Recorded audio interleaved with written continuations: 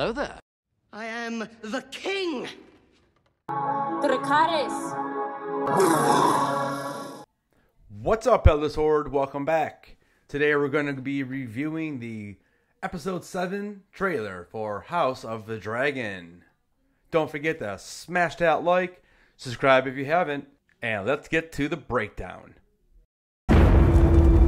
What is this brief mortal life?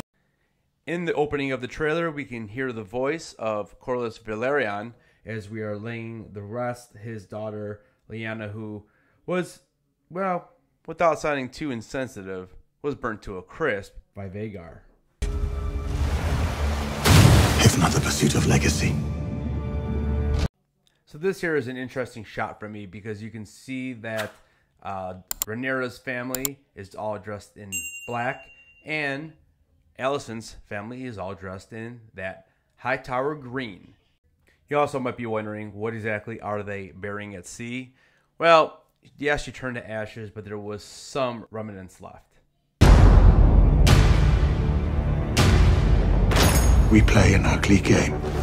So here we see Rhaenys. Now remember, she's married to Corlys Velaryon, and you know her daughter just died as well. We see her throwing down a ring, and we're not quite sure exactly what that is or what type of ring that is, but it could be signifying that she's joining one of the two groups.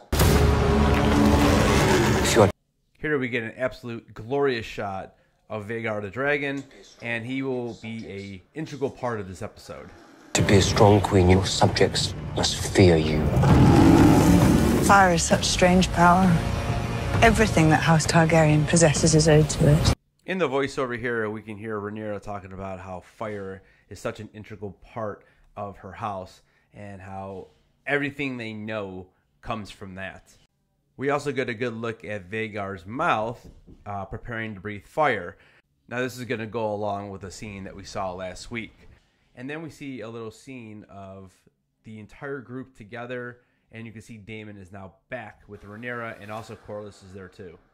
So, what the scene means to me is that we can see that we have House Targaryen becoming one, and then we have the High Towers as another group, and poor Viserys is stuck in the middle.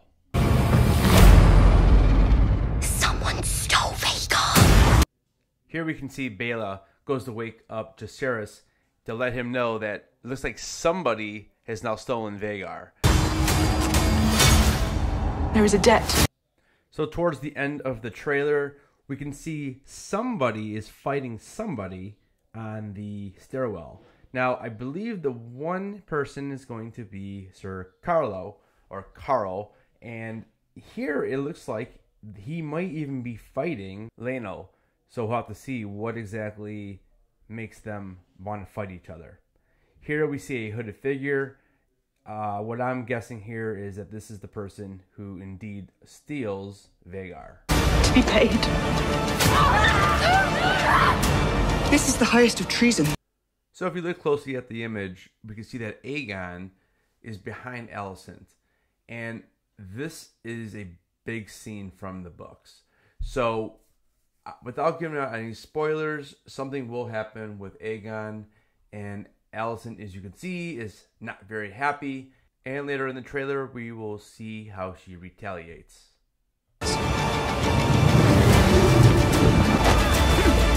I promise you in time, you and I together will prevail. So here we have the return of Otto Hightower. Now what I did here is I blended two parts of the trailer together where Otto was prominent. You can see here that we don't see the person who's the new hand of the king, but I think we can go ahead and assume it probably is going to be Otto. You can then see Larys Strong as he's staring at Alicent as he nods to her, and you can briefly see Otto in the frame. To me, Larys is like the new Littlefinger, and he is so sneaky.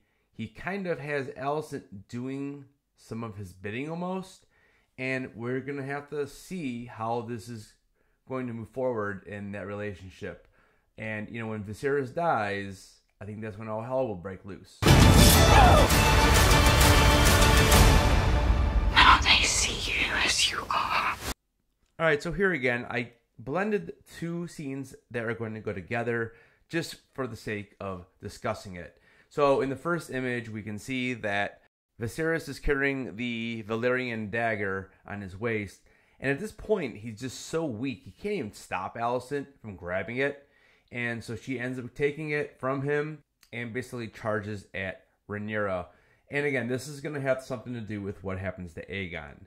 And you can see here that looks like Rhaenyra is going to end up being cut by the dagger that Alicent grabbed from Viserys. But again, you know, it could be the way that the trailer was filmed to make us believe that. And in the final scene, um, or the final image of the trailer, we can now see that Alicent is just going crazy. Rhaenyra even says in the trailer that now people can see what, who she truly is. So for me, this is basically the straw that broke the camel's back. And this is what's really going to begin the war with the blacks versus the greens. Let me know what you think of the trailer. Are you excited for episode 7? Also, in the comments down below, give me your theories on who you believe stole Vhagar. And don't forget, I will be live again on Sunday at 1020, right after episode 7, breaking it all down for you. All right, thanks for watching, and don't forget, keep those heads on.